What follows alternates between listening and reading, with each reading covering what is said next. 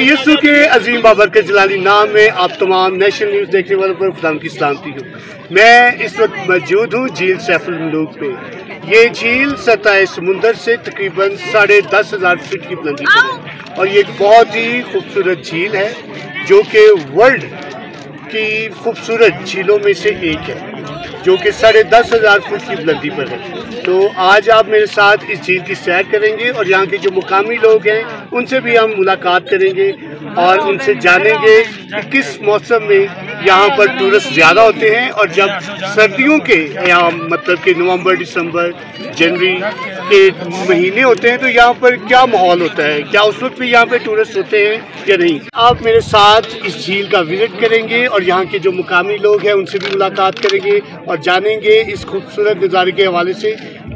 और ये बताएँगे हमें मुकामी लोग ही कि क्या आया यहाँ पर रात को, परियाँ अभी भी आती हैं या दिन में ही अब नज़र आती हैं? जी नाजीन अभी यहाँ पर हमारे साथ मौजूद हैं। यहाँ के एक मुकामी रिहायशी उनसे जानेंगे सारा इस झील के हवाले से वो हमें बताएँगे और मौसम के हवाले से।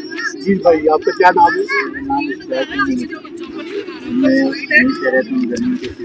सर्दियों में तो क्योंकि आपको पता है कि यहाँ पे रह कोई नहीं सकते बर्फ़ होती है।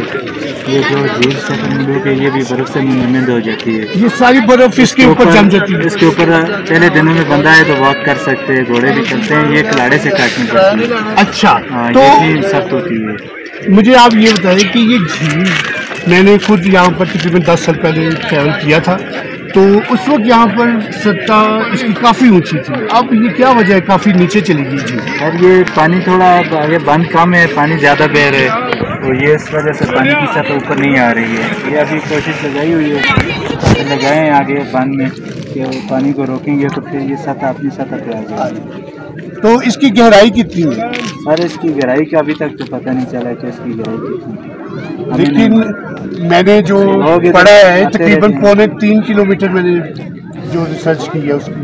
पौने तीन किलोमीटर में ये है कि सर ने हमने भी सुना है कि ये साढ़े तीन सौ मीटर डीप है। हाँ तो अभी जो यहाँ पर सीज़न है वो कब शुरू होता है और कब ख़त्म होता है यहाँ पर? यहाँ पे सीज़न तो वैसे जून पंद्रह से शुरू होता है लेकिन इस दफ़ा बर्फबारी कम हुई है तो सीज़न पहले शुरू हुआ है। अभी थोड़ा सा ये बारिशों की वजह से सीज़न में लोग कम आ रहे हैं तो इंशाल्लाह मौसम अगर ठीक हुआ तो फिर अभी यही सीज़न है। यहाँ पे आने का यही जुलाई का सीज़न है। क्योंकि जून जुलाई में यहाँ पर टूरिस्ट का रश ज़्यादा हो जाता है। अगस्त तीन माह होते हैं यहाँ के सीज़न के तो बर्फ़ वगैरह कब यहाँ पे शुरू हो जाती है स्टार्ट सर ये तो मुख्तलिफ़ होते हैं कि कभी ये अक्टूबर के एंड में भी आ जाती है कभी दिसंबर तक भी नहीं होती। हाँ इस दफ़ा तो अभी जुलाई में भी दो तीन दिन पहले बर्फबारी हुई है यहाँ पे। तो रिहाइश आपकी इधर ही है या कहीं दूर से आप आते हैं? नहीं हमारी रिहाइश इधर ही है। इधर दो साल पहले हमारे घर भी इधर थे लेकिन एक सैलाब की वजह से मकान मारे गए मवेशी वगैरह। अभी मैंने खेमा लगवाया हुआ तो मस्जिद के पास वहाँ पे हमारे है। तो जैसे इन दिनों में टूरिस्ट हैं काफ़ी ज़्यादा सीज़न है तो आप यहाँ पर क्या करते हैं?